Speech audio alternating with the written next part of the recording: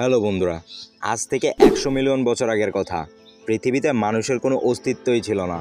ছিল ভয়ঙ্কর সব জীবের বসবাস যার নাম ডাইনোসরস.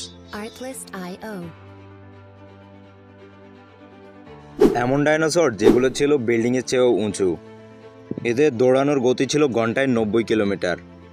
একশো সত্তর মিলিয়ন বছরেরও বেশি সময় এরা পৃথিবীতে রাজত্ব করেছিল।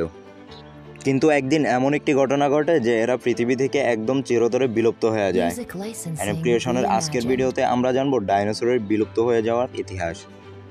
ধারণা করা হয় ডাইনোসরের বসবাস শুরু হয় আজ থেকে দুইশো তিরিশ বা দুইশো চল্লিশ মিলিয়ন বছর আগে থেকে। কেননা ডাইনোসরের যে পুরনো ফসিলটি পাওয়া গিয়েছিল জিম্বাবুইতে তা পরীক্ষা করে জানা গিয়েছিল এটি ছিল আজ থেকে প্রায় দুইশো তিরিশ মিলিয়ন বছর আগের। এখনকার সময় পৃথিবীর আকৃতি ঠিক যেমন তেমনটা কিন্তু আগে ছিল না।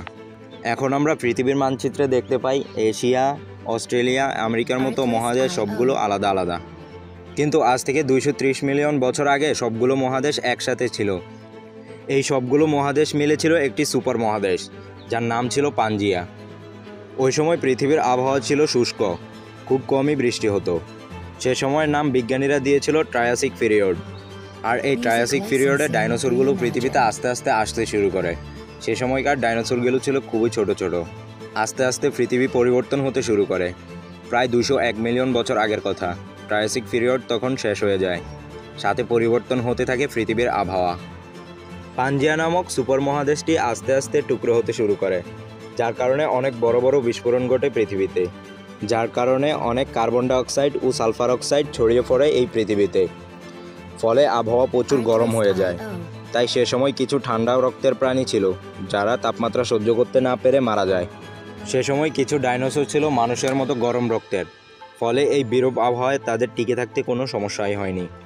প্রায় ছয় লক্ষ বছর ধরে চলতে থাকা আবহাওয়ার পরিবর্তন যার কারণে বাকি সব প্রাণী মারা যায়। তারপর শুরু হয় জুরাসিক পিরিয়ড এই জুরাসিক পিরিয়ড চলতে থাকে একশো পঁয়তাল্লিশ মিলিয়ন বছর আগ থেকে দুইশো এক মিলিয়ন বছর আগ পর্যন্ত। এ সময় ডাইনোসরের অনেক প্রজাতি সৃষ্টি হতে থাকে পৃথিবীতে। সে সময় অনেক বড় বড় ডাইনোসর ছিল, যাদের ওজন ছিল প্রায় পনেরো হাজার কেজি। আমরা মুভিতে যে ডাইনোসর সবচেয়ে বেশি দেখি, তার নাম হচ্ছে টিরেক্স।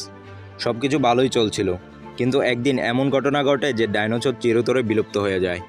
প্রায় তিরিশ কিলোমিটার প্রতি সেকেন্ড গতিতে একটি বড় গ্রহাণু পৃথিবীর দিকে দেয়ে আসে, যার আয়তন ছিল দশ থেকে পনেরো কিলোমিটার।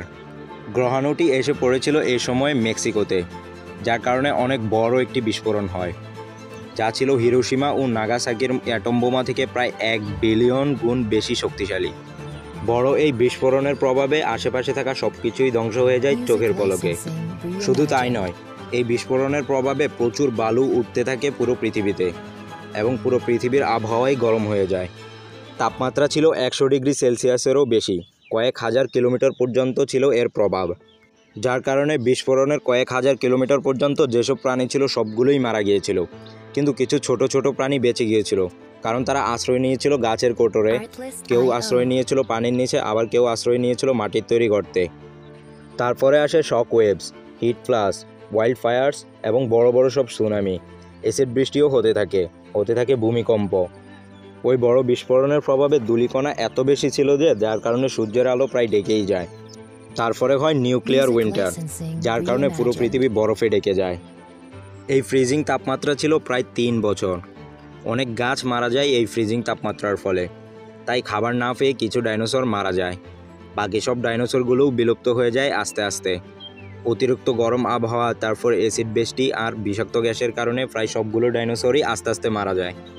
বন্ধুরা এই ছিল আমাদের আজকের ভিডিও ভিডিওটি আপনার কাছে কেমন লেগেছে তা কমেন্ট করে অবশ্যই জানাবেন। ভিডিওটি ভালো লাগলে ভিডিওতে একটি লাইক দিয়ে চ্যানেলটি সাবস্ক্রাইব করতে ভুলবেন না।